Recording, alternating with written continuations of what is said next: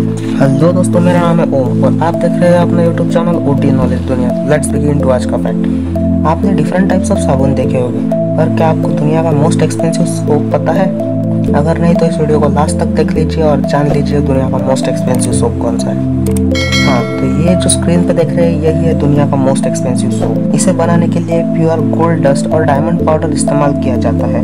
और ये लेबनान में मैन्युफैक्चर किया गया था। यह 160 ग्राम सोप 2800 डॉलर का है, जो अगर इंडियन करेंसी में किया जाए तो यह सोप दो लाख तीन हज़ार एक सौ बावन रुपयों का है, पर यह सेल के लिए नहीं रखा गया अच्छा लगा आज का फैक्ट अगर अच्छा लगा हो तो इस वीडियो को लाइक कर दीजिए शेयर कर दीजिए, और मेरे चैनल को सब्सक्राइब कर दीजिए।